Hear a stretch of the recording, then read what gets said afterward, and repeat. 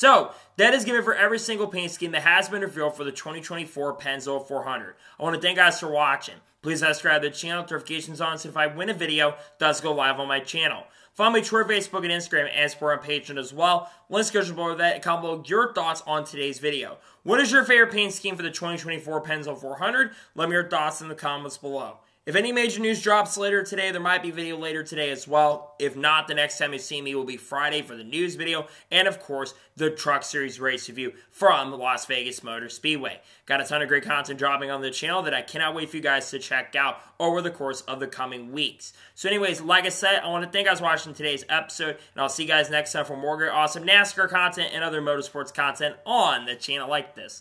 Take care, everybody.